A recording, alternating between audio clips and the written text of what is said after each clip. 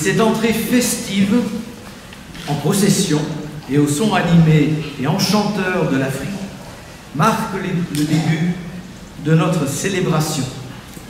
Célébration au cours de laquelle aura lieu l'installation officielle de notre pasteur Samuel Botti.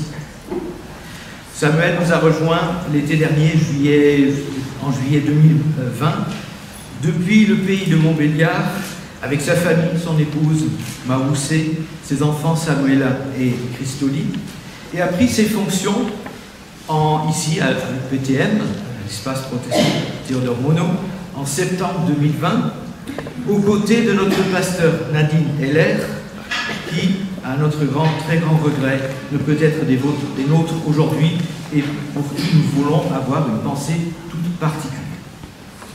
La crise sanitaire, avec son éventail de restrictions et d'autres raisons encore, ont fait que l'installation officielle de Samuel n'a pas pu avoir lieu plus tôt. Mais son entrée en fonction en septembre 2020 nous a permis de traverser ces temps difficiles, de faire face ensemble, et sa présence pastorale parmi nous, et aussi dans ce secteur de la ville de Vaux-en-Velin, a été très précieuse et continue de l'être.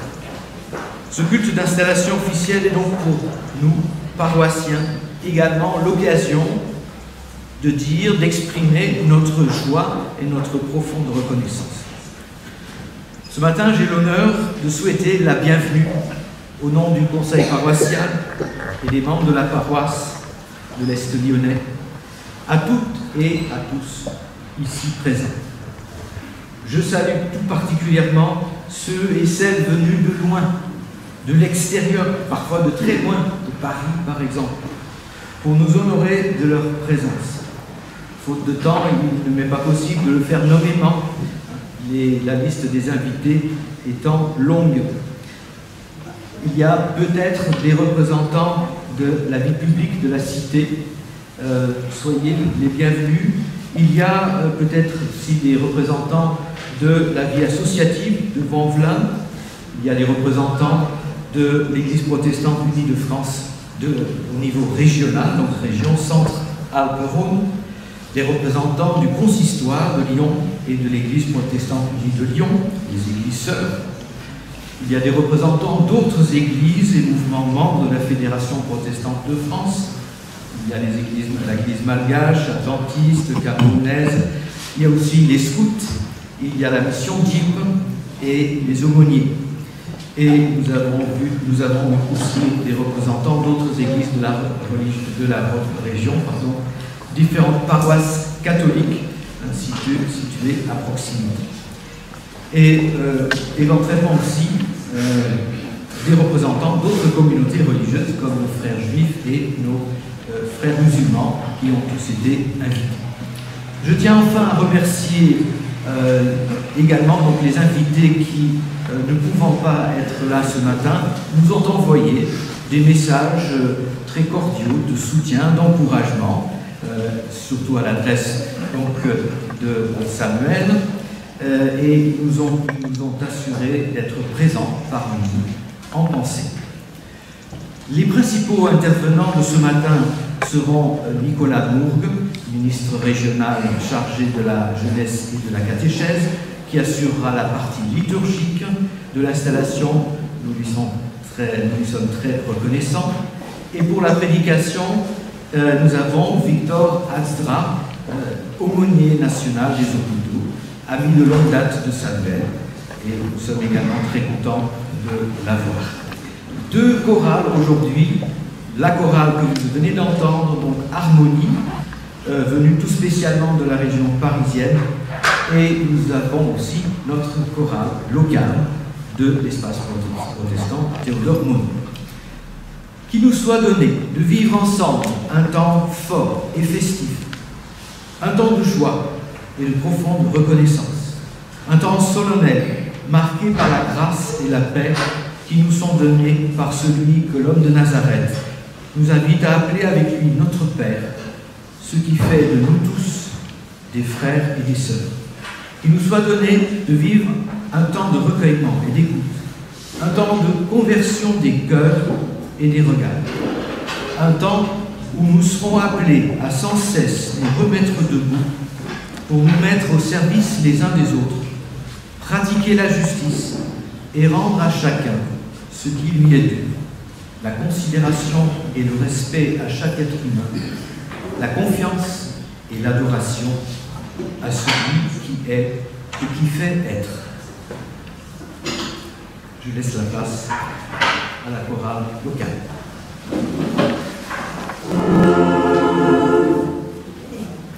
Je...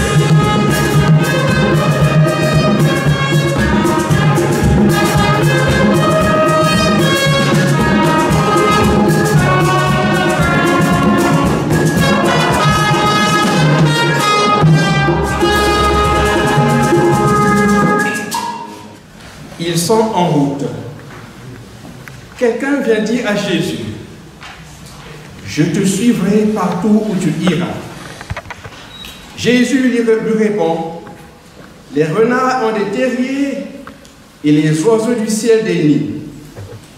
Mais le Fils de l'homme, lui, n'a pas où poser sa tête. Jésus dit à quelqu'un d'autre, suis-moi. Mais l'homme répond, Seigneur, permets-moi d'aller d'abord enterrer mon Père. Jésus lui dit, laisse les morts enterrer leurs morts. Toi, va le royaume de Dieu. Quelqu'un d'autre dit encore à Jésus, Seigneur, je veux te suivre. Mais d'abord, permets-moi d'aller dire adieu à ceux de ma maison. Jésus lui dit, celui qui commence à labourer et qui regarde en arrière, celui-là n'est pas bon pour le royaume de Dieu. Nous venons d'entendre là l'extrait de l'évangile selon Luc au chapitre 9. Et devant ce Seigneur qui nous appelle à le suivre, je, vous invite au silence, un temps de silence, et nous allons prier pour nous dire nos soucis de le suivre, nos difficultés également de marcher à sa suite.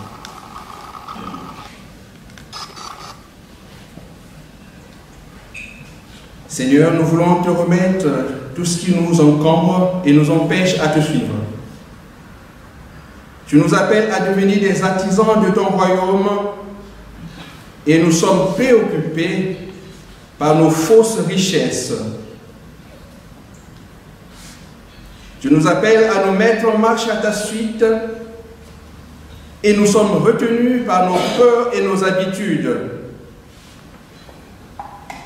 Tu nous appelles à oser la vie de l'Évangile et nous nous enfermons dans nos ténèbres et dans nos morts.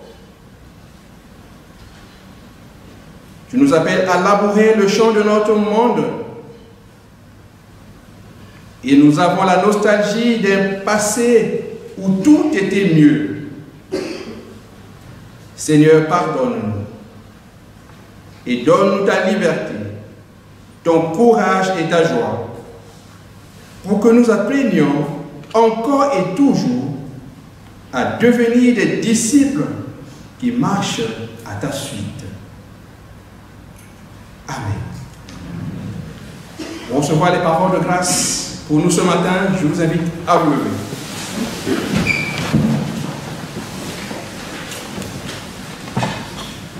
Le Seigneur Dieu est tendresse et pitié, patient et d'une immense bonté. Il ne fait pas constamment de reproches. Il ne garde pas éternellement rancune.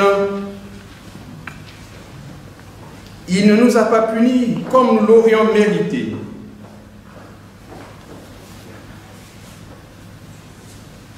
Il ne nous a pas fait payer le prix de nos fautes.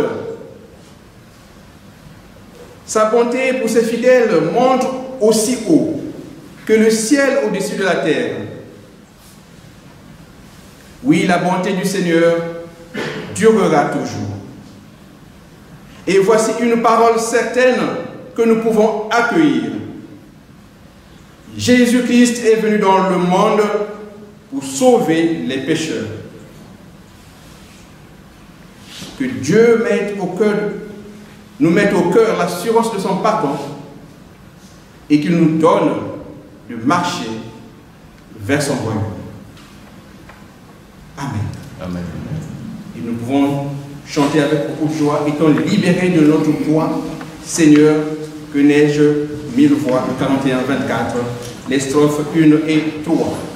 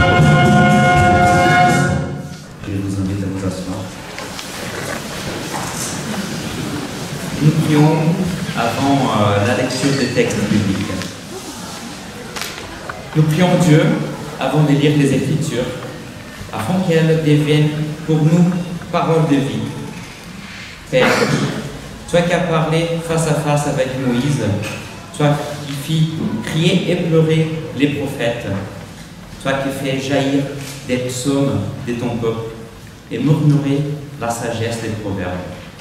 Dieu vivant, qui a mis le Magnificat dans la bouche de Marie et la confession du Christ dans celle de Pierre. Toi qui as prononcé ta parole comme une parole mène dans la vie de ton Fils par ton Saint-Esprit. Rends ces paroles vivantes en cette heure et qu'elles deviennent pour nous ta parole, Seigneur. Amen.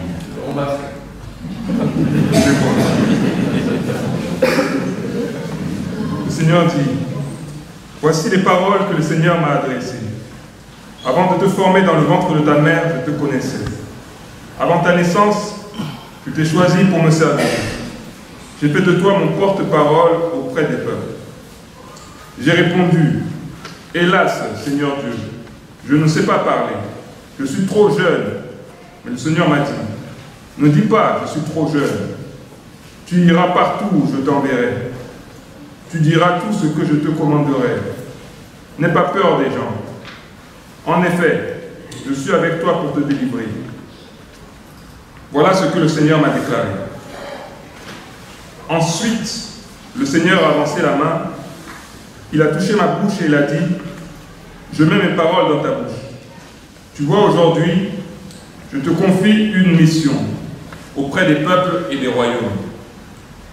Tu vas arracher et abattre, détruire et démolir, construire et planter. Parole du Seigneur. Bonjour, je vais vous lire euh, le chapitre de Romains 10, versets 12 à 15. Alors, il n'y a pas de différence entre les juifs et ceux qui ne sont pas juifs. Tous ont le même Seigneur. Il donne ses bienfaits à tous ceux qui font appel à lui. Les livres saints le disent. Tous ceux qui feront appel au Seigneur seront sauvés. Mais comment s'adresser au Seigneur si on ne croit pas en lui? Et comment croire au Seigneur si on n'a pas entendu parler de lui? Et comment entendre parler de lui si personne ne l'annonce? Et comment l'annoncer si personne n'est envoyé pour cela? Les livres saints le disent bien. Quelle joie de voir arriver ceux qui apportent de bonnes nouvelles. Et nous lisons encore euh, les livres de 2 Corinthiens, chapitre 4, des versets 5 à 12. Non, ce que nous annonçons, ce n'est pas nous-mêmes, mais Jésus-Christ, le Seigneur. Et nous, nous sommes vos serviteurs à cause de Jésus. Dieu a dit que la lumière brille au milieu de l'obscurité. Et c'est celui-même qui a brillé dans nos cœurs. Il a voulu nous éclairer il- en nous faisant connaître sa gloire qui brille sur le visage du Christ. Mais nous qui portons ces trésors, nous sommes comme des plats en argile. Ainsi, on voit bien que cette puissance extraordinaire vient de Dieu et non de nous. Les gens nous attaquent de tous côtés, mais nous ne sommes pas écrasés. Ils nous font beaucoup de difficultés, mais nous ne sommes pas abattus. Ils nous font souffrir, mais Dieu ne nous abandonne pas. Il nous jette par terre, mais nous ne sommes pas tués. Nous portons toujours la mort de Jésus dans notre corps. Alors, on peut voir aussi la vie de Jésus dans notre corps.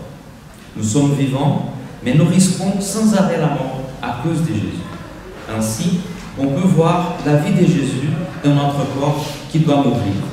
De cette façon, la mort agit en nous, mais la vie agit en. Amen. Et nous chantons.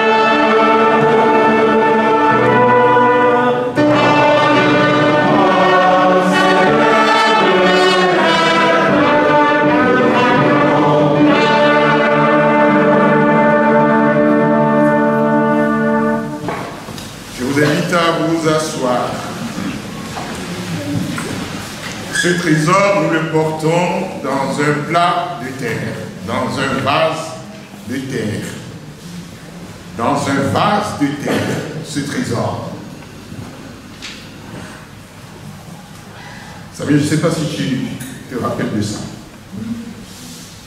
Ça vient de loin.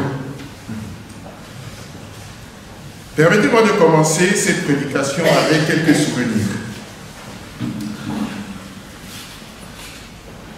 Vous savez, le 15 juin dernier, à l'EPU, l'église protestante unie des Batignolles, à Paris, c'était mon culte d'installation. Comme des établissements sanitaires et médico-sociaux, de la Fédération protestante de France, après ma nomination, deux ans après ma nomination, à cause de la Covid. Tu étais intervenu et je portais cet état que je vais partager avec toi tout à l'heure. Tu étais intervenu de façon élogieuse comme témoin. Témoin de celle de ma famille, témoin de mon ministère depuis une trentaine d'années, c'est réciproque. Nous sommes dans la réciprocité. Merci de m'offrir l'opportunité d'être le prédicateur du jour à ton installation ici à Avouin-Velin, espace Théodore Monod, Église protestante unie. Deux, ce n'est pas un secret pour toi ni pour d'autres dans la salle que je rentre du Togo, je suis rentré du Togo il y a quelques, quelques jours, pour une, pour une, visite avec le président de la Fédération protestante France, le pasteur François Claveroli et d'autres deux collègues. Nous avions, entre autres, visité l'Université protestante de l'Afrique de l'Ouest, campus Togo, sur le site de l'ancienne école biblique d'Atapamé. Sur cette colline, me sont remontés avec beaucoup d'émotion bien des souvenirs datant d'une trentaine d'années. L'école biblique d'Atapamé, lieu de notre rencontre à trois, ben, on est devenu trois, un trio, Innocent qui est au Canada maintenant, et nous deux ici. Lieu de notre rencontre et du début de notre parcours en 1989. Lieu qui a vu naître cette grande amitié fraternelle qui nous tient, alors que nous partagions le même banc, toi et moi, J'y ai revisité notre salle de classe, les dortoirs, les dortoirs, avec une particulière attention aux arbres sur la colline et aux rochers derrière la chapelle, sur lesquels nous nous essayons, toi et moi. Ces arbres et rochers témoins de nos recueillements spirituels à deux, et sur lesquels nous nous asseyons, qui sont témoins, et surtout qui sont témoins de la verbalisation de cette discrète alliance entre toi et moi. Ils étaient, ils sont toujours là, ces rochers. À Tapamé, il y a une trentaine d'années, j'ai rencontré un jeune frère, Samuel, dont l'histoire peut s'illustrer à travers ce dialogue entre Dieu et Jérémie, qu'on a lu tout à l'heure. Ce passage qui dit, avant de te former dans le ventre de ta mère, je te connaissais. Avant t'en choisi pour me servir. J'ai fait de toi mon porte-parole auprès des peuples. Tu iras partout où je t'enverrai. Tu diras tout ce que je te commanderai. Ensuite, le Seigneur a avancé la main, il a touché ma bouche et il a dit, je mets mes paroles dans ta bouche comment accomplir cette mission alors que la situation de ce jeune frère à la naissance le prédestinait à répondre comme Jérémie? Hélas, Seigneur, Seigneur Dieu, hélas, je ne sais pas parler. Et spécifiquement dans ton cas, tu aurais répondu, je ne sais pas parler, Seigneur. Hélas, Seigneur, je, je ne sais pas parler, car je suis né nègre. Comment un bec peut peut-il assurer le ministère de la parole? C'est pour vous dire que Samuel était un évêque. Et il avait beaucoup de difficultés à parler. N'aie pas peur, dit le Seigneur. En effet, je suis avec toi pour te délivrer. Voilà ce que le Seigneur a répondu. Tu vois, aujourd'hui, je te confie une mission auprès des peuples et des royaumes. Tu vas arracher, abattre, détruire, démolir, construire et planter. Et je t'ai vu à l'œuvre. C'est un frère pétri de cette confiance, ayant retrouvé son élocution que je rencontre sur la colline d'Atapami. Dans sa fidélité, le Seigneur nous a rendus témoins réciproques de nos vies et ministères, tant au Togo qu'en dehors du Togo. C'est donc le ministre de la parole, le pasteur que nous installons aujourd'hui dans son ministère parmi vous ici le Seigneur est fidèle. Nous avons éprouvé cette fidélité. Trois.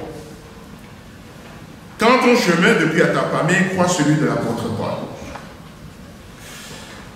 Dans le passage aux, Romains tout à l'heure, il était dit, alors il, il n'y a pas de différence entre juifs, les juifs et les non-juifs. Et dans un autre passage, Paul dira, il n'y a ni juif ni grec. Ce passage biblique cet esprit de Paul, Samuel doit te parler, éveiller chez toi des souvenirs lointains. C'est le passage développé dans ton exercice de prédication à la fin du cycle de formation à l'école biblique d'Atapamé en 1992. Alors que moi, j'avais déserté cette institution un an auparavant, sans terminer le cycle, pour des raisons qui te sont très bien connues. On s'est retrouvés que de chemins parcourus ensemble depuis, chemins sur lesquels nous avons à la suite engagé nos familles, nos enfants, nos épouses, nos enfants, d'Atapamé à Yaoundé au Cameroun, de Lomé à Paris, de Rome au pays de Montbéliard, le Mont-Vaudois, puis à Voisin, où tu nous réunis aujourd'hui pour une nouvelle étape de ton ministère. Occasion pour nous, pour nous laisser, nous laisser interpeller par la suite du passage de l'épître de Paul aux Romains que j'avais cité, cette partie qui dit Mais comment s'adresser au Seigneur si on ne croit pas en lui? Et comment croire au Seigneur si on n'a pas entendu parler de lui? Et comment entendre parler de lui si personne ne l'annonce?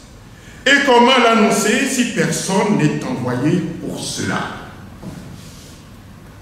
La lettre de Paul aux Romains est unique parmi les écrits de Paul.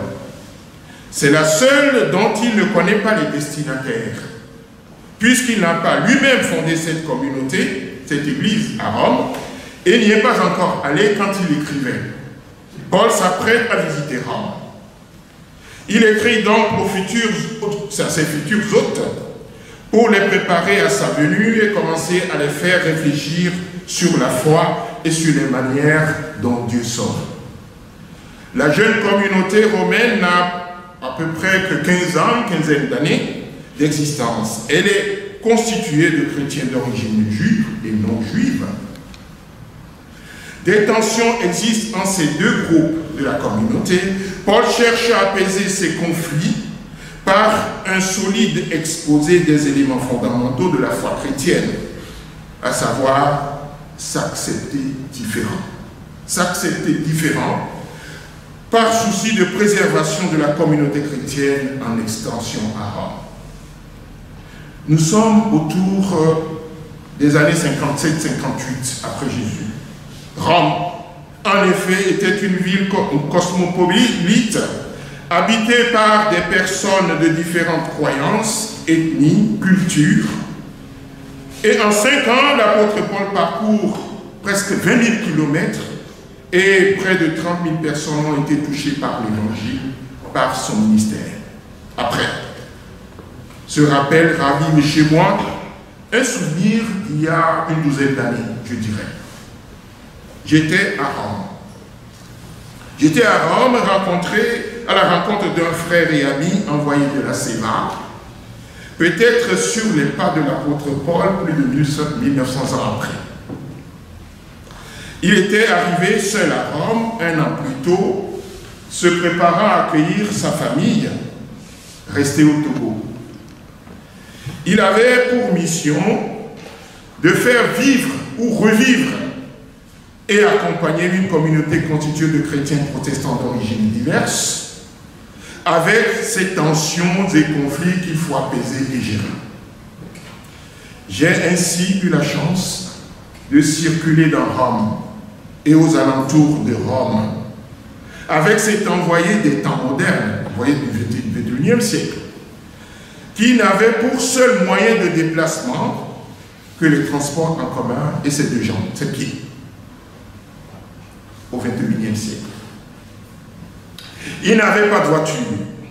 Je l'ai suivi et vu à l'œuvre dans les transports en commun, entrer en discussion avec des passagers, partager des informations sur sa communauté, pour finir par laisser, si possible, un flyer pour toutes fins utiles.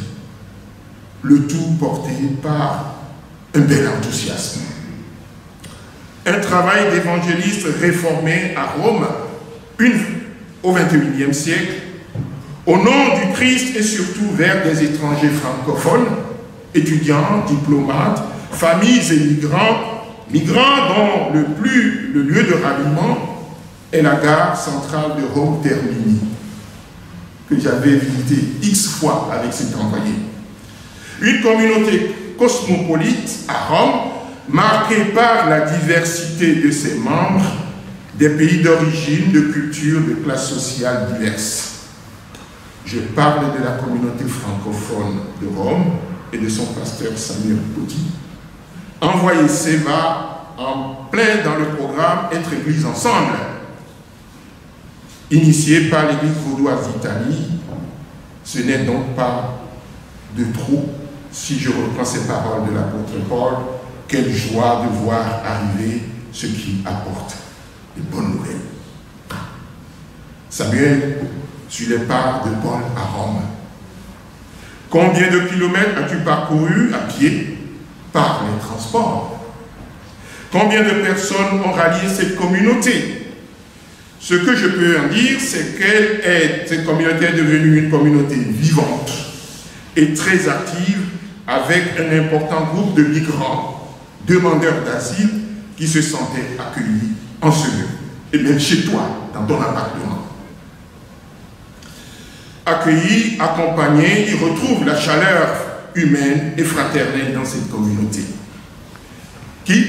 Cette communauté qui pourtant avait du mal à être église ensemble avec la paroisse méthodiste qui, je peux dire, la tolère à peine dans ses locaux. Du Togo à Franvelin, passant par la route missionnaire, cette route missionnaire qui passe par Rome, le Mont Vaudois, la mission est tout simplement celle de prêcher Christ et Christ seul. Annoncer le Christ ressuscité comme un simple témoin. Un témoin de seconde main. Un simple serviteur, un simple disciple. Selon l'adresse de Paul aux Corinthiens, la spécificité du présent culte est bien une opportunité pour nous en rappeler et pour te le rappeler. À la question à quoi peut-on comparer le disciple du Christ, Paul évoque des images suivantes. Vous êtes comme le parfum de Christ, l'envoyé, le disciple. Vous êtes comme une lettre, une lettre d'encouragement. Vous êtes comme un abri. Des statuts plus valorisants et gratifiants que ce que nous venons de lire tout à l'heure dans la lettre aux Corinthiens, où il est plutôt question de plat ou de vase d'argile. Que penser de l'image du vase de terre? Tout le contraire d'une vaisselle de luxe qui évoque plutôt la fragilité. Cette comparaison modeste dit quelque chose d'essentiel sur notre condition d'humain, de disciple, de serviteur de Dieu. Paul, qui la développe, le fait dans un contexte très particulier les liens entre Paul et l'église de Corinthe sont forts et tumultueux dans temps. Cette église qu'il a, a fondée est tiraillée entre ses partisans et ses détracteurs. Au moment même où la pertinence de son ministère est mise en cause par des prédicateurs qui polémiquent à son sujet, Paul entend réaffirmer avec force le fondement et la perspective de son ministère quand il dit Ce n'est pas sur nous-mêmes que porte notre prédication. Nous proclamons que Jésus-Christ est le Seigneur et que nous-mêmes sommes vos serviteurs à cause de Jésus. Nous portons ce trésor, cette parole, nous portons ce trésor dans un plat ou un vase de terre, un vase d'argile, pour que cette puissance supérieure soit celle de Dieu et non la nôtre. D'un côté, il est question de puissance supérieure, de l'autre, de fragilité, de trésor et de vase d'argile, de contenu et de contenant. Voilà que nous apprenons de la bouche de Paul Qu'un témoin, un disciple, un serviteur, c'est un plat ou un vase d'argile, non pas une vaisselle d'ornement, mais un ustensile pratique. Pourquoi Paul, l'ancien juif pharisien, connaissant les vases et les ustensiles précieux utilisés dans, au temple, évoque-t-il ces récipients de peu de valeur? Cette image de soi, du ministère, on ne peut plus dévaloriser lui est-elle inspirée par l'amertume ou la déception rencontrée souvent dans ce ministère? On peut ajouter que cette modestie forcée s'accorde peu avec le caractère de l'apôtre Paul. Pourtant, nous voulons bien croire que cette image inspirée par le contexte polémique du moment dans lequel il vivait peut nous permettre de creuser quelques questions clés. Qu'est-ce qu'un témoin Un disciple, un serviteur?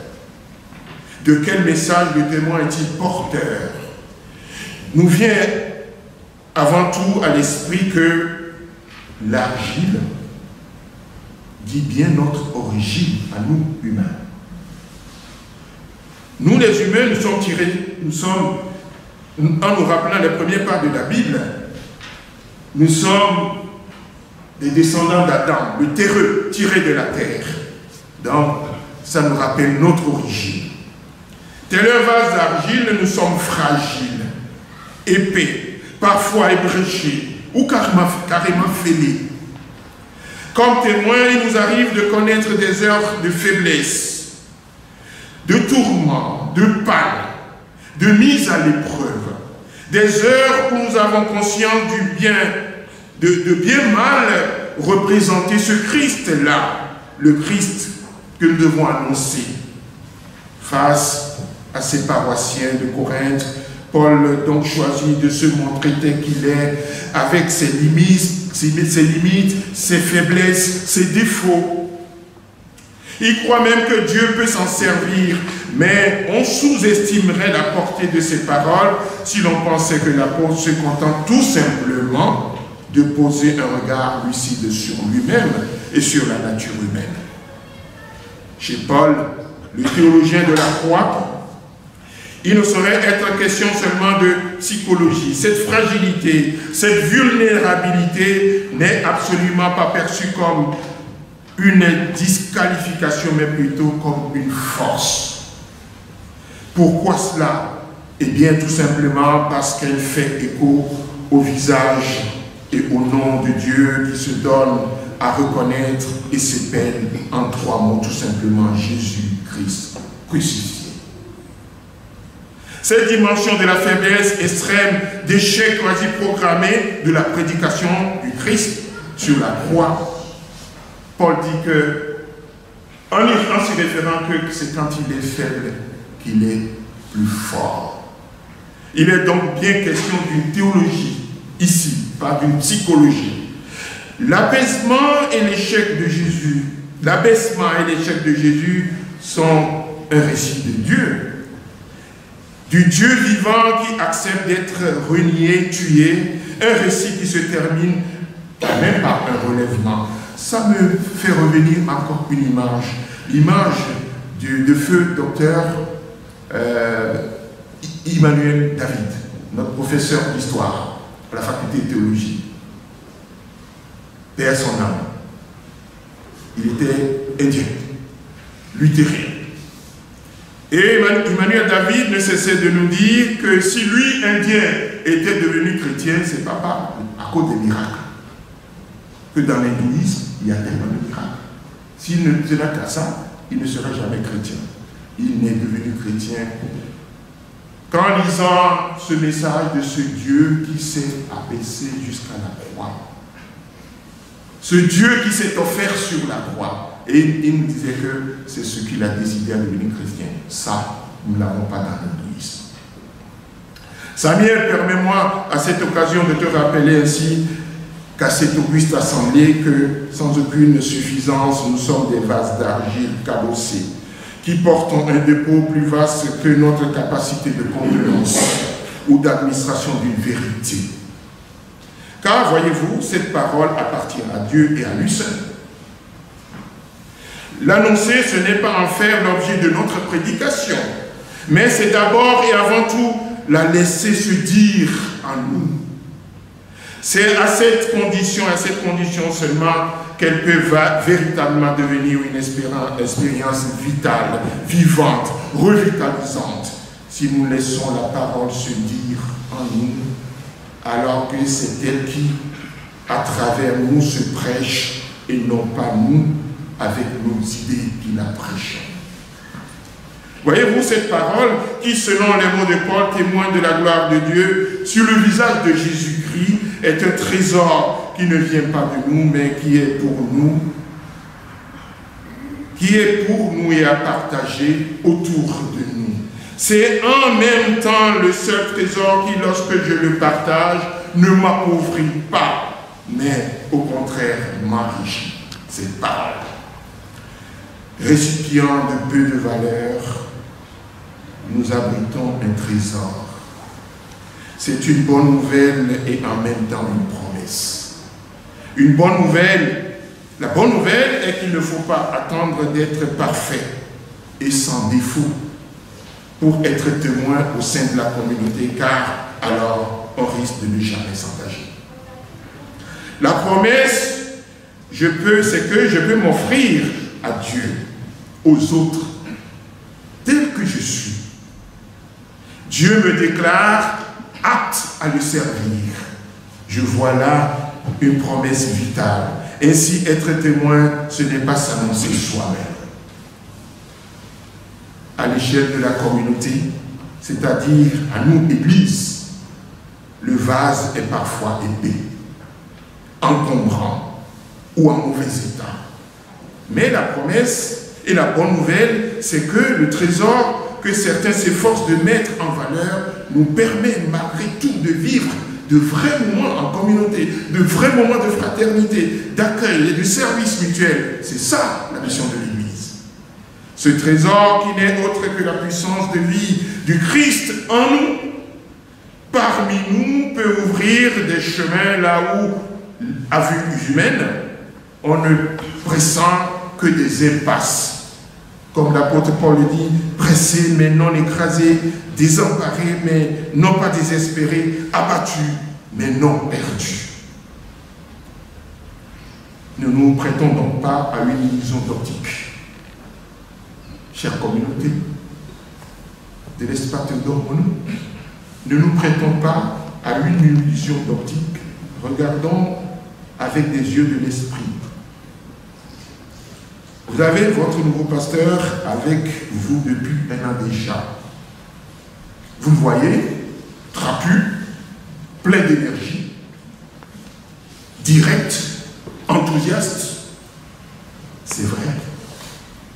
Mais ayons à l'esprit qu'il n'est qu'un vase d'argile, fragile, que le Seigneur a mis en valeur en faisant de lui le porteur d'une parole qui le dépasse. Alors Samuel, Sois paisiblement, courageusement, joyeusement et sans complexe ce que tu es.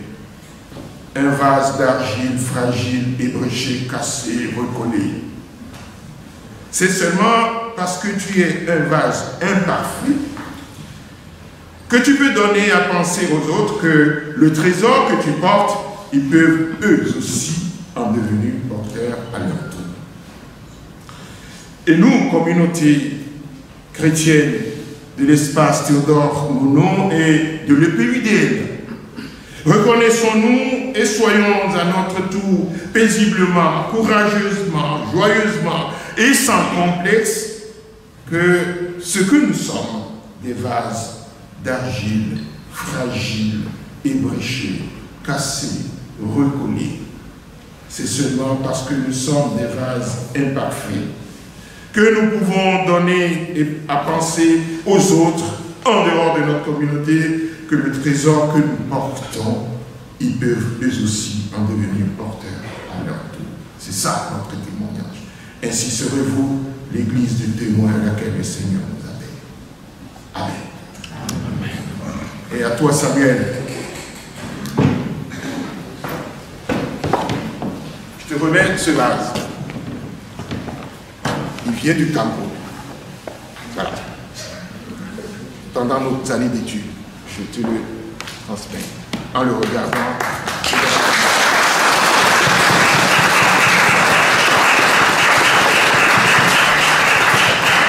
Tu étais avec moi le 15, le 15 juin dernier, je portais cet étole.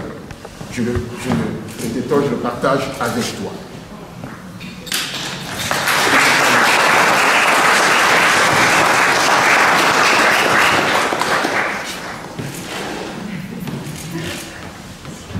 Et je te donne ce livre aussi qui, qui m'a été remis pendant mon voyage au Togo dernièrement par notre directeur de l'école du Datapamé. Un livre qui vient de sortir, qui est une compilation de ses dernières publications et qu'il m'a remis pour toi quand j'étais allé le voir.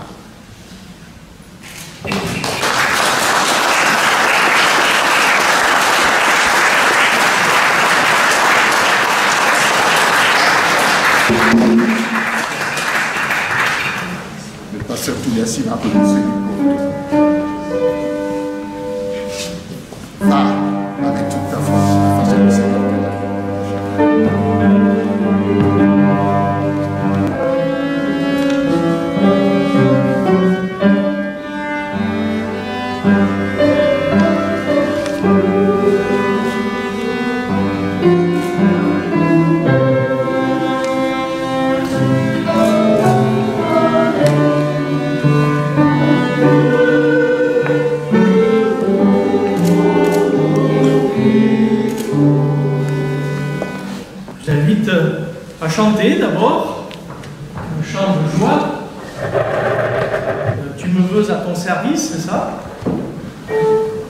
à vous lever pour cela.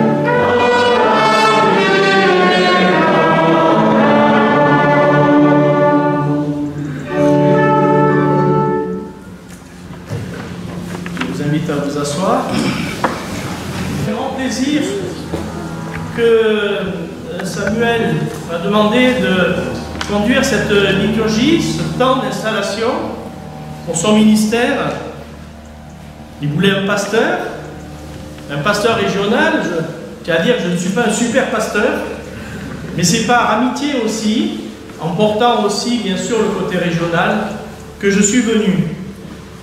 Avec Samuel, on s'était encore pas vu en vrai, à travers euh, les visios de cette année, ô combien compliquées, nous n'avons pas pu faire vraiment connaissance en vrai. Et c'est avec émotion qu'aujourd'hui je te vois. Avant de conduire cette euh, liturgie d'installation, je vous invite à vous lever, à nous associer, à nous unir autour de la déclaration de foi de l'Église protestante unie de France.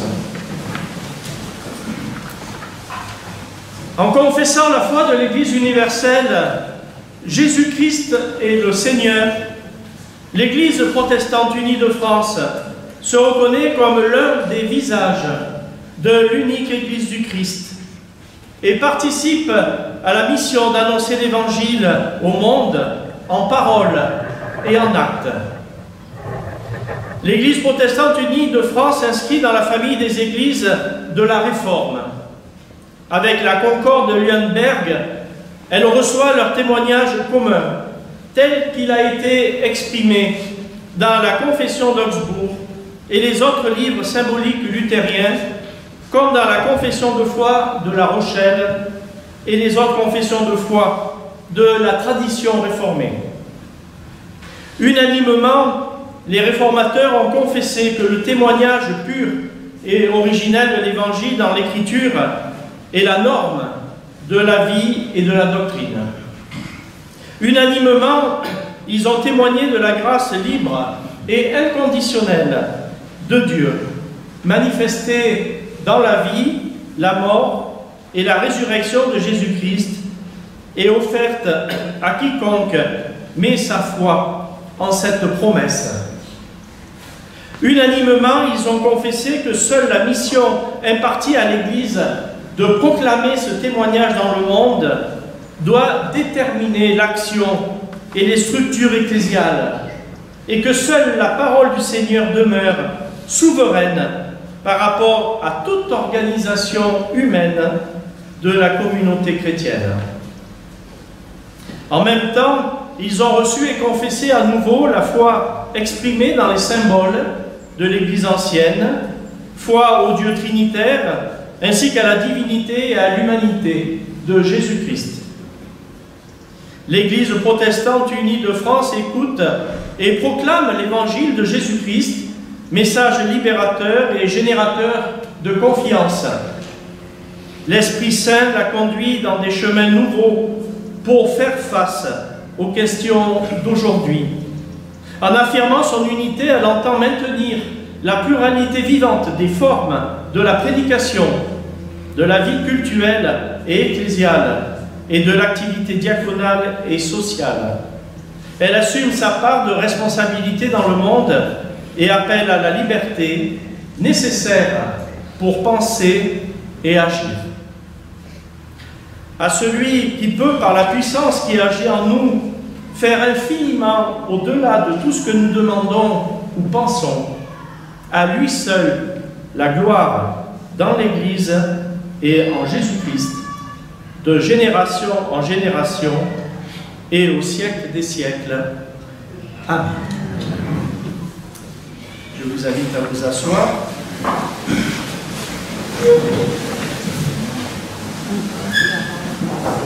Nous allons maintenant accueillir Samuel Couty comme ministre de l'Église protestante unie de France pour servir à l'espace protestant Théodore Monod à Vaux-en-Velin. Nous associons dans la prière à son ministère celles et ceux qui parmi nous exercent un ministère.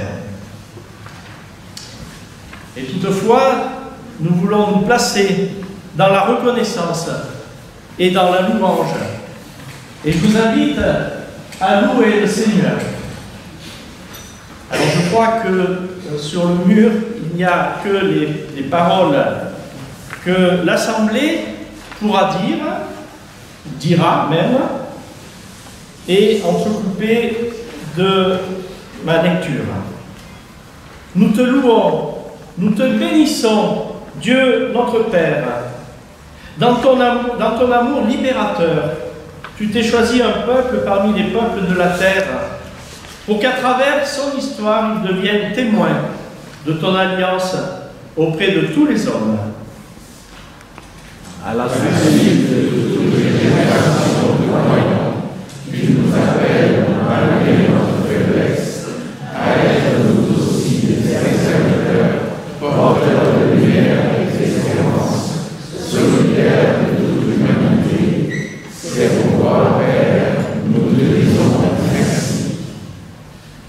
te louons, nous te bénissons, Seigneur Jésus-Christ, envoyé de Dieu au sein du peuple d'Israël. Tu es venu en serviteur, réconcilier tout homme avec ton Père.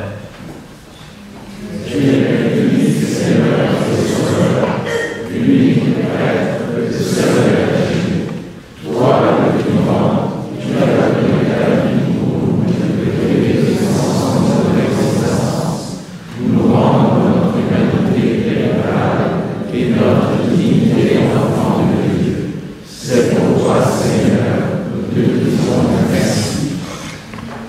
te louons, nous te, bénissons, Esprit Saint, présence du Père et du Fils, de génération en génération, tu manifestes la puissance de la résurrection suscites l'Église, tu la rassembles pour l'adoration, tu l'envoies dans le monde, tu lui donnes la force de vivre sa foi et ton économie. C'est pourquoi, Esprit de Dieu, nous te disons merci. Nous te louons, nous te bénissons, Dieu trois fois saint. Par le baptême, nous avons été plongés dans la mort du Christ pour renaître avec lui à la vie et devenir membres de son corps.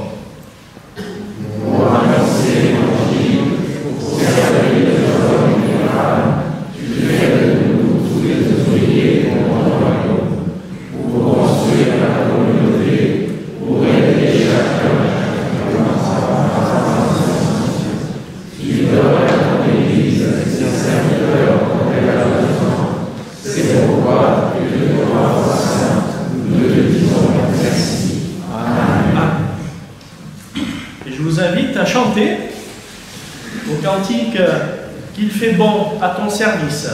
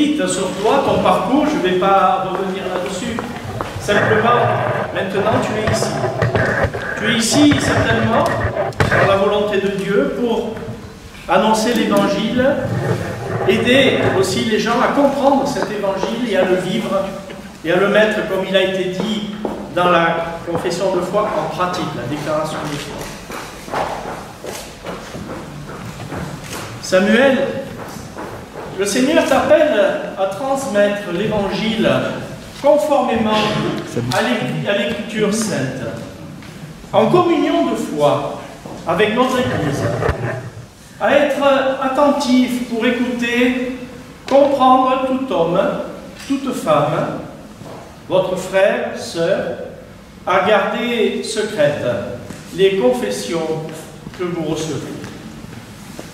Est-ce bien là ce que tu veux?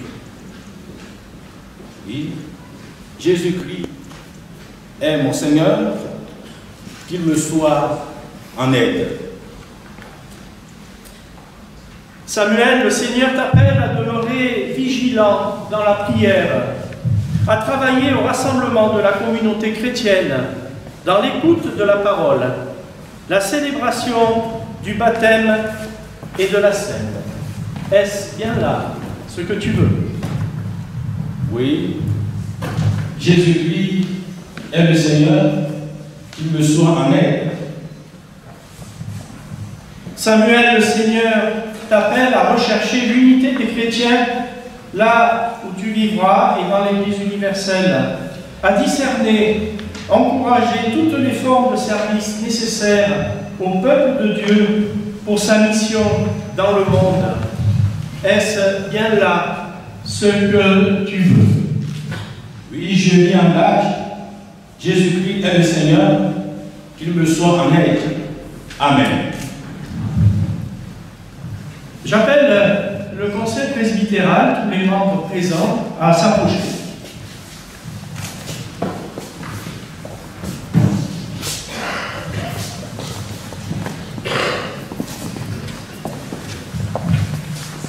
Comme vous le savez, le pasteur n'est jamais seul. Son ministère est partagé avec euh, des membres élus de la paroisse qui ont en fait qui est celle de la parole, de la prédication, la même tâche d'une église qui doit pouvoir rayonner. Vous, alors peut-être un peu plus par là, soyez pas.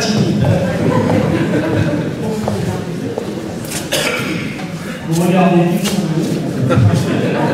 Oui, oui, regardez là. Vous, membres du conseil presbytéral, acceptez-vous d'accueillir Samuel Outi comme pasteur? Et d'œuvrer avec lui au bien de la communauté en demeurant au service de l'Église. Dites, nous nous y engageons avec l'aide de Dieu. Nous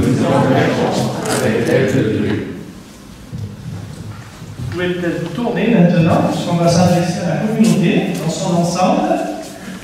Frères et sœurs, vous venez de recevoir les engagements de Samuel Poti. Ensemble, nous sommes appelés à travailler pour Dieu. Nous prierons pour notre frère nous le soutiendrons. Est-ce bien là ce que vous voulez?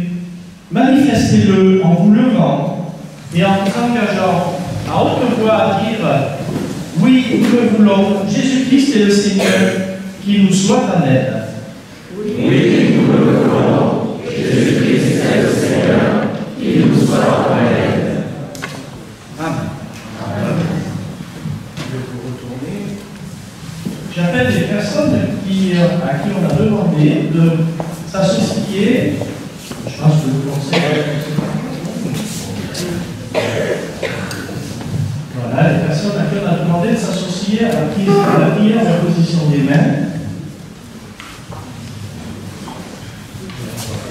Je vais descendre.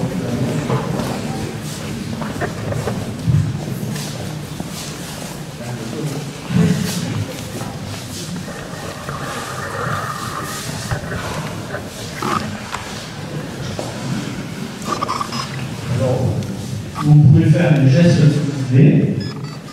Vous levez les mains.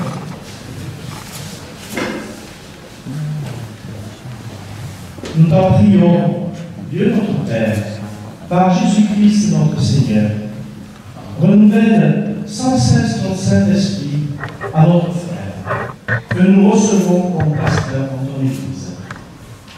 Accomplis ta force dans la faiblesse de ton serviteur. Garde-le humble, fidèle et courageux pour annoncer ton évangile, sans être retenu par la crainte des hommes ou poussé par le désir de leur père.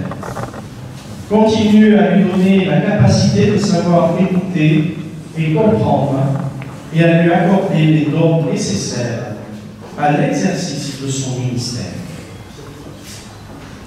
Amen. Tu vois, là, s'embrasser, je sais. Pendant, je sais que l'harmonie, la, chorale va chanter, peut-être si vous voulez avoir un petit geste envers Samuel.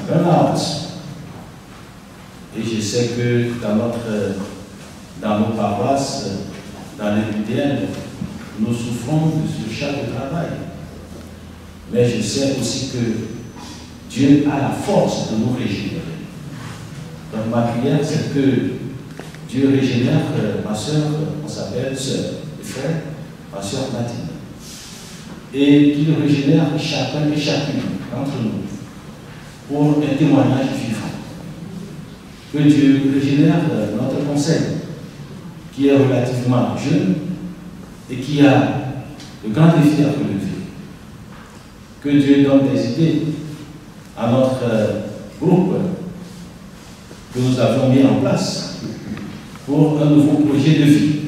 Cela veut dire que nous avons encore du chemin à faire. Tant que nous serons sur cette terre, soyons simplement des bases avec nos fragilités. Quelque part, je dis que aussi, s'il faut être des cercles, il faut l'être. On te prend les doigts pourvu que les lieux soient propres, pourvu que la gloire de Dieu soit faite. Voilà. Merci. Prêtre, j'ai vu Dieu donné, qui est là, il est là. Voilà, donc c'est le prêtre de la paroisse catholique ici. J'ai vu Régis. Régis, je l'ai vu. voilà, il est venu me saluer. Donc, nous sommes géographiquement, c'est ça le défi de notre paroisse, géographiquement rattaché à plusieurs paroisses catholiques. Voilà. De, Saint-Priest, de Vénitieux et de Villeurbanne et ceux qui sont ici à, à, à Donc chaque fois, il faut agir et dans, euh, dans cette configuration aussi, nous avons beaucoup à faire sur le plan interreligieux avec nos frères et sœurs les musulmans, les orthodoxes, tous ceux qui sont là. Je dis, dans la ville ici, nous appartenons, bien nous faisons partie aussi de plusieurs collectifs, collectifs du quartier, et mon épouse Monsi était élue la dernière fois en tant que conseillère de cette assemblée du quartier. Donc nous essayons d'être présents. Et dans la ville même, nous faisons partie de ce collectif qui gère des activités euh, particulièrement ce que nous appelons Arca Sacra. Et ça, je dis merci à Anne Kowaleski qui a pris cette charge. Sinon, avant, c'était le pasteur, donc il fallait être à toute cette réunion. Cette année, elle a accepté cette responsabilité ce qui fait que voilà, c'est elle qui va à les réunions, s'il faut organiser des activités, c'est elle qui va, qui fait le compte de la Anne, je tenais vraiment à te dire merci. Parce que l'année passée, elle a dit, mais moi, il faut aller à toutes ces réunions. À toutes ces réunions. Merci. Merci. Merci beaucoup. Voilà. Merci euh, à mon épouse euh, à, à, ma fille Samuela et à mon garçon Chrysoïde. Nous avons grandi ensemble C'est à l'école que nous sommes vus et nous avons fait le chemin ensemble. Mon épouse, elle est aussi pasteur de notre église d'origine. Voilà. Et à tous et à toutes, ceux qui, mes chers, chers, moi je le dis, je souligne, chers collègues de mon ancien consistoire, euh, euh, Emma euh, et Isabelle, merci d'être venus. Voilà. Euh, je sais ce que j'ai dit ce matin nous avons une pastorale très très solide. Voilà, je sais que euh, si c'était là, tous les pasteurs du consistoire seront là. Ici, c'est que cela nous étonner. Éric est malade, nous pensons à lui. Jean aussi à nous, nous pensons aussi à lui. Même s'il n'y a pas les collègues pasteurs de votre consistoire, vous les représentez. Merci à, à Michel Gauthier, le président de, de et à, à Nicolas de notre consistoire et Grand Lyon. Merci d'être venu. À nous tous, à vous tous, merci.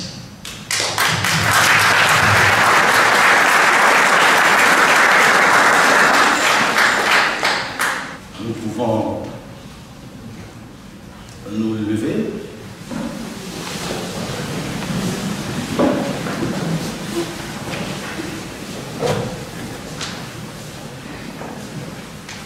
Seigneur, Père Saint et Tout-Puissant, Dieu éternel, il est vraiment digne et juste, bon et salutaire de t'offrir en tout temps et en tout lieu nos louanges, par, par lesquelles les anges t'adorent, les puissances te craignent les cieux et leur armée.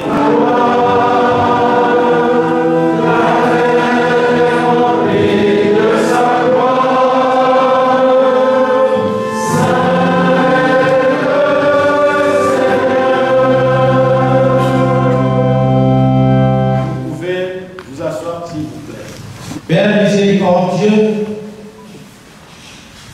nous te prions humblement de nous sanctifier par ton Esprit Saint et de sanctifier également ces dons qui viennent de toi, ce pain et ce vin, afin que le pain que nous rompons soit communion au corps du Christ et la coupe de bénédiction pour laquelle on avons grâce, communion au sang du Christ, puisque nous sommes unis en lui, accorde-nous d'atteindre toute l'unité de la foi et de pouvoir en toutes choses croire en lui, le Christ, notre Seigneur. Le Seigneur Jésus-Christ, la nuit où il fut trahi, soupa avec ses disciples, il prit du pain. Et ayant rendu grâce, il le rompit, le donna à ses disciples et dit Prenez, mangez, ceci est mon corps qui a brisé pour vous. Faites ceci en mémoire de moi. De même, après avoir soupé, il prit la coupe et ayant rendu grâce, il a leur donna et dit Buvez-en cette coupe est la nouvelle alliance en mon sang qui est répandue pour la multitude en rémission des péchés. Faites ceci toutes les fois que vous en boirez en mémoire de moi. Dieu, notre Père, en célébrant le mémorial de l'incarnation de ton Fils, de sa passion, de sa résurrection, de son ascension et de l'attente de son retour, nous nous offrons à toi en sacrifice vivant et saint, et nous t'adressons notre louange et nos actions de grâce par la communion à, son corps, à son sang, qu'il demeure en nous pour que nous demeurions à lui. Unis donc à Christ, je nous invite à nous lever et à dire ensemble le nom de Père. Notre Père qui est aux cieux, que ton nom soit sanctifié, que ton règne vienne, que ta volonté soit faite sur la terre comme au ciel. Donne-nous aujourd'hui notre Père de ce jour. Pardonne-nous nos offenses, comme nous pardonnons aussi à ceux qui nous ont offensés. Et ne nous laisse pas en mais délivre-nous du mal, car c'est à toi qu'appartient le règne la puissance et la gloire pour les siècles des siècles. Amen. Jésus, ton Église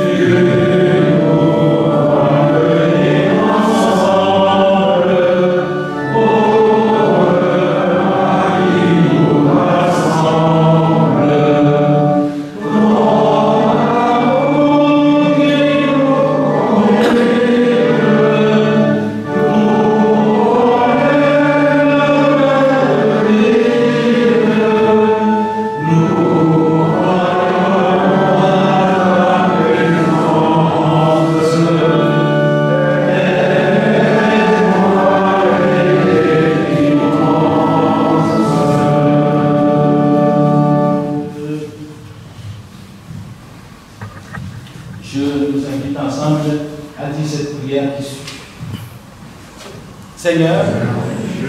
prête.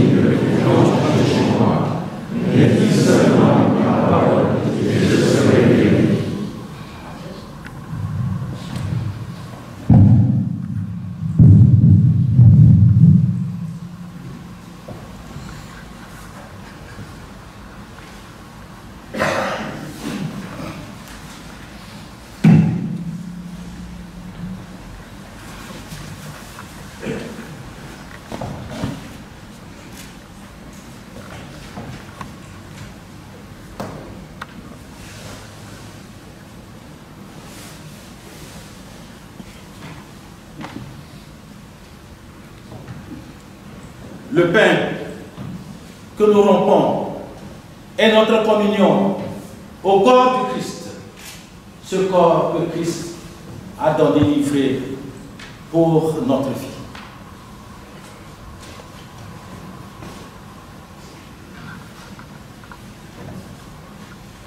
La cour de bénédiction pour laquelle nous rendons grâce est notre communion au sein du Christ.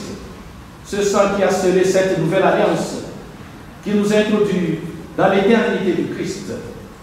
Il nous dit, mangez et buvez chaque fois que vous vous rassemblez en mémoire de moi, jusqu'au jour où je reviendrai et que désormais vous partagerez ceci avec moi dans le royaume de mon Père.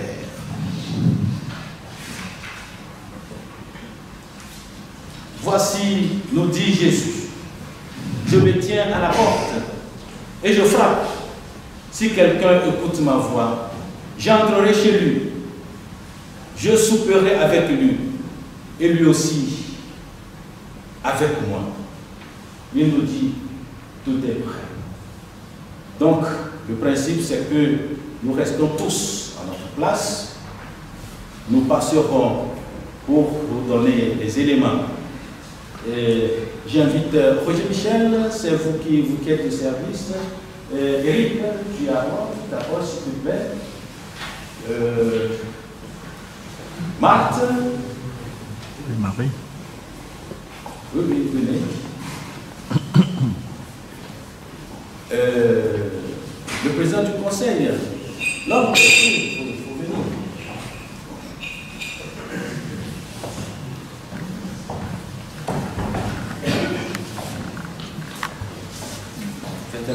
canción de Mel.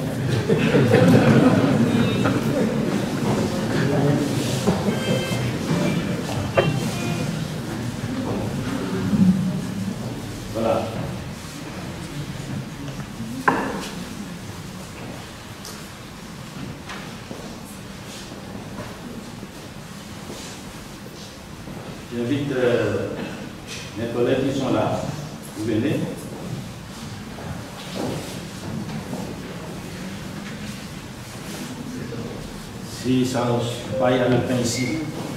S'il vous plaît, vous venez. Donc, euh,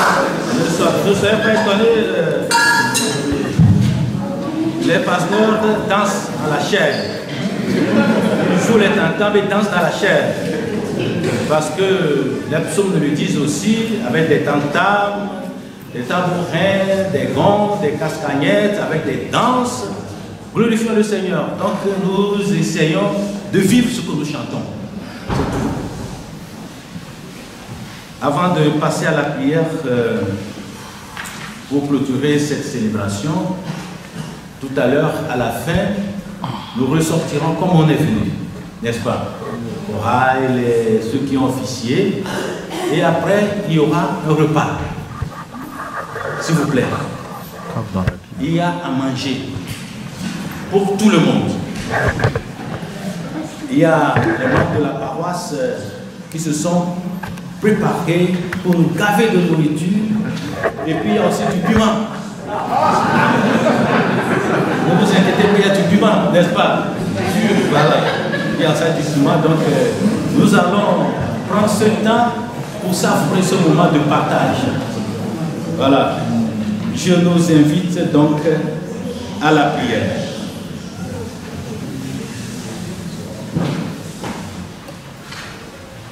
Père, ta parole nous a redit ton amour pour ce monde. Nous voulons t'exprimer notre reconnaissance. Dieu nous a fait la promesse d'être avec nous tous les jours jusqu'à la fin du monde.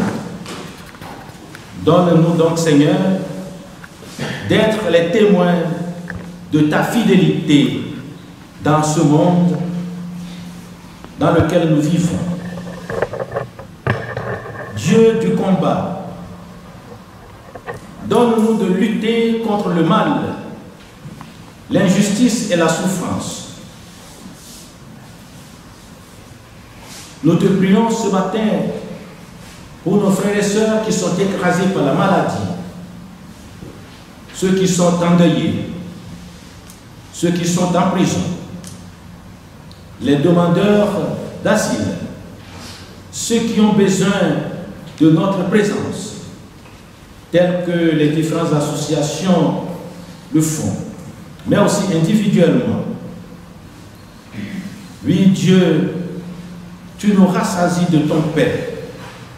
Donne-nous de partager le nôtre avec tous ceux et tous celles qui ont faim. Fais-nous découvrir la joie du partage. Dieu de Jésus-Christ d'amour, donne-nous en tout temps et en tout lieu d'être comme les échos de ta parole qui accueille, qui console et qui donne la paix. Nous te prions, Seigneur, pour nos élus, pour nos communes. Nous te prions pour tous ceux et toutes celles qui exercent une autorité dans notre monde et dans notre pays. Nous te prions, Seigneur, pour notre Église et pour l'Église universelle, pour ses membres, ses serviteurs. En ce jour, nous te prions particulièrement pour ta servante Nadine Heller, qui devait être ici ce jour. Mais à cause de cette surcharge de travail, elle n'est pas là, mais nous savons que de l'heure, elle partage ce moment de communion avec nous. Nous avons énormément besoin d'elle. Elle nous manque. Nous te prions pour sa famille et nous te demandons de la régénérer totalement et complètement. Pour tous ceux qui sont venus de l'un, bientôt à la fin de ce culte et de ce partage de repas, ils reprendront le chemin retour, comme tu les as conduits jusqu'ici. Veille sur eux, et afin que la gloire et la puissance te reviennent pour les siècles des siècles. Amen. Je nous invite à nous lever.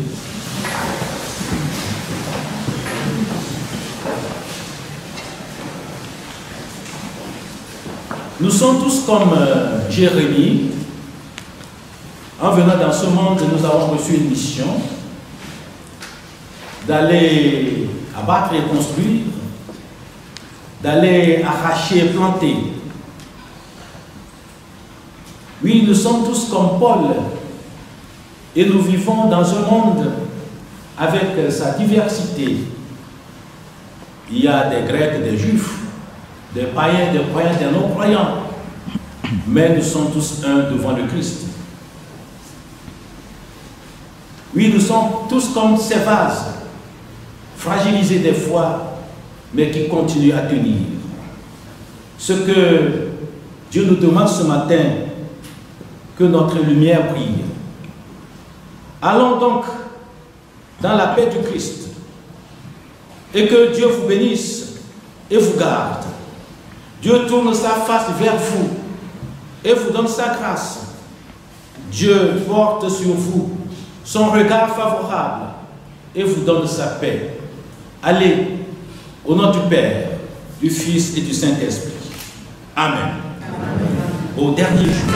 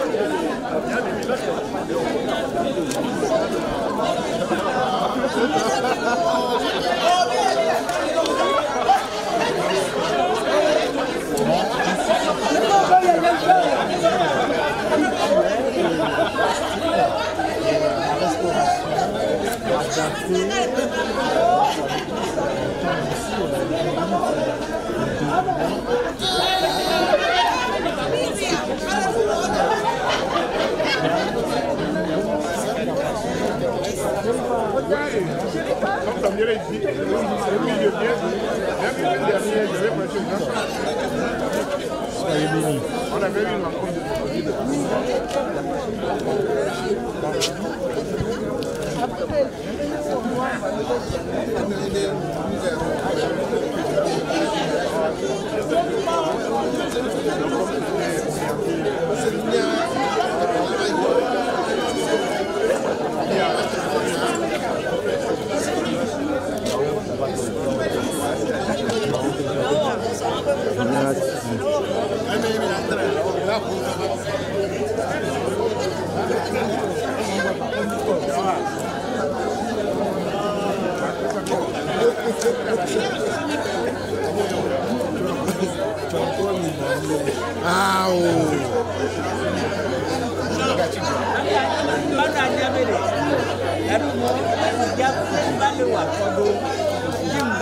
la kɔ la do wa ɛ ne bɛ le sɔ kɔ mi le kɔ ma na nya ne ba le wa kɔ do wa ne ba ne ba le wa kɔ le wa kɔ do ba le fura kɔ do ne bɛ le wa do wa a nya kɔ le do ma na nya zere sa ma na nya zere sa.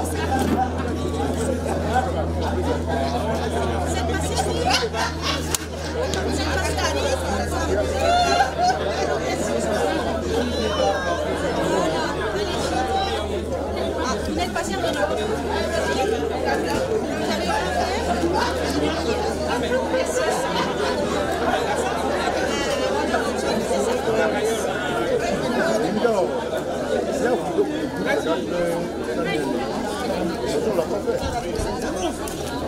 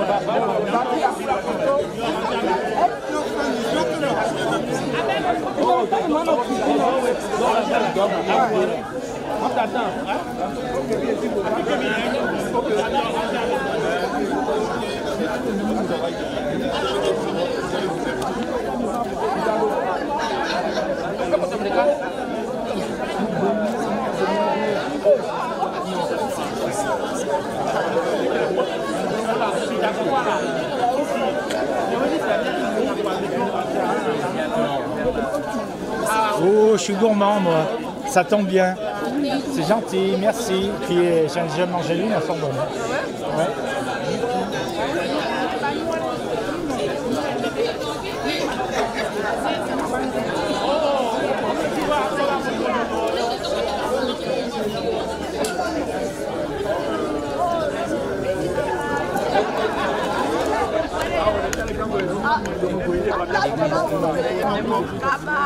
Jean, mia poi l'ho toi.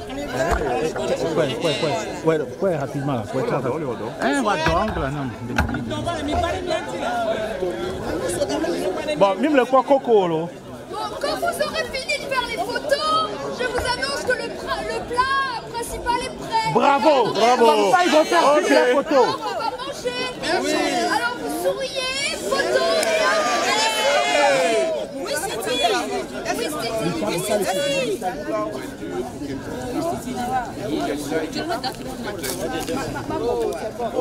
Oh, avec un babobo, avec un babobo.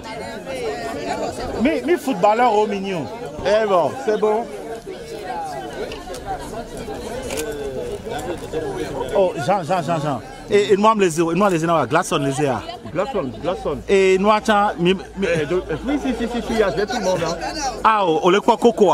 Coco. Oh, oh, do- on tombe, Didier, on va aller au bon bon domaine. voilà. Eh, voilà, mi de. Hein. Si tu vas en toucher même le corps. Passe à Victor. On a une bonne domaine. On a il faut y avoir bon.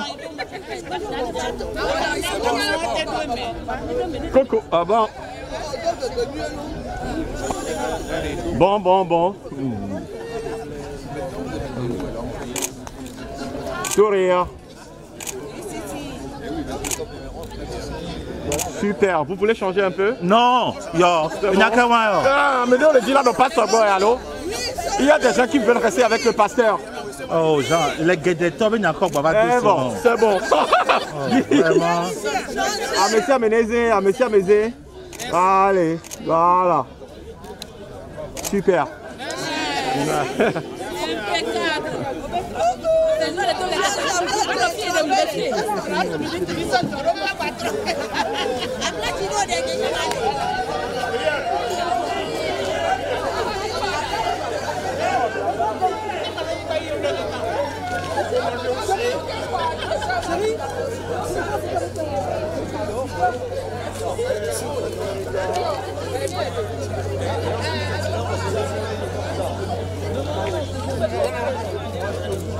Hey Jean, mais on va pas sortir des photos de eh, Jean, Jean, Jean, Jean.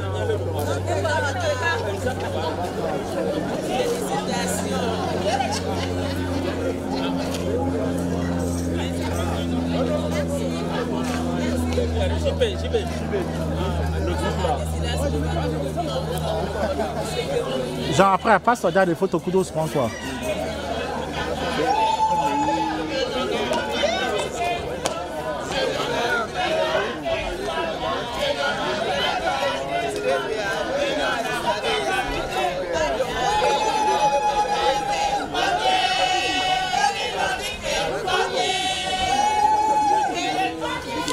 Eh, non, que mira, kwa caminhando, te digo, não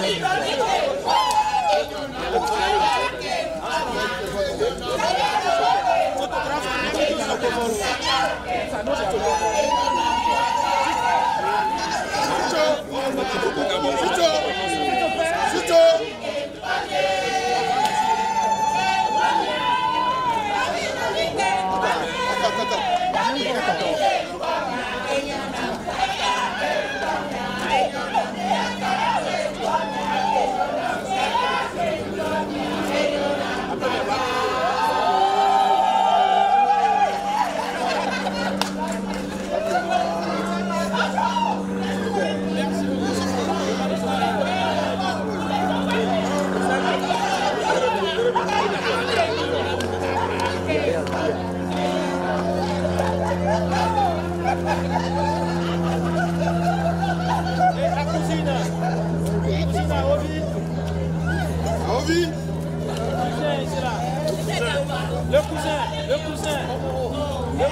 le cousin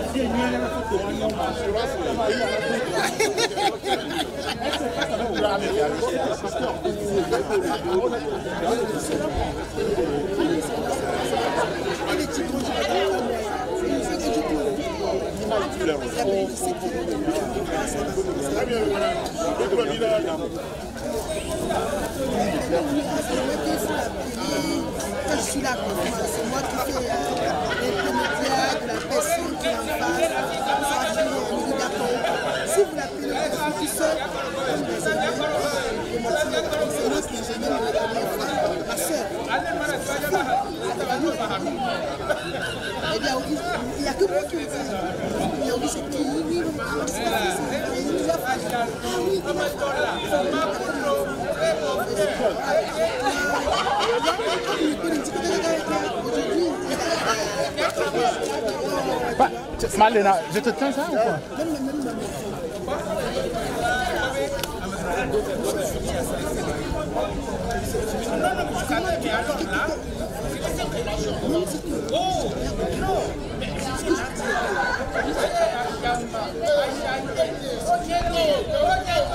Jean, on est sur le village.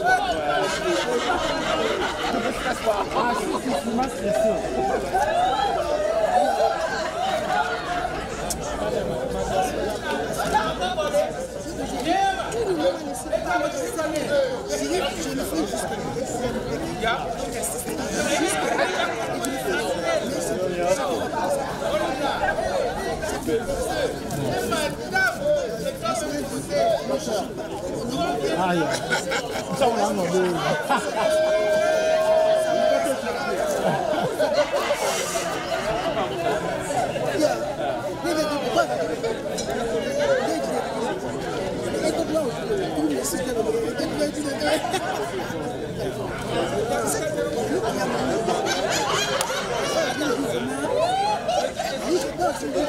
You hey, hey, hey, hey.